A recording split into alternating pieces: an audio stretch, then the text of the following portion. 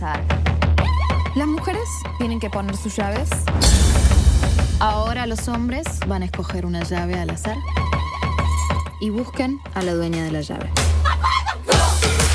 Ahora vamos a follar toda la noche con la persona a quien pertenezca la llave. Es broma, ¿no? ¿Te imaginas que jugamos? Hacerlo con amigos puede ser una bomba de relojería. Eso es peor que, que jugar a la ruleta rusa. No me digáis que os apetece un poquito de salseo. Bingo. Premio. A jugar. Ya sabía yo que esto acabaría como el rosario de la aurora.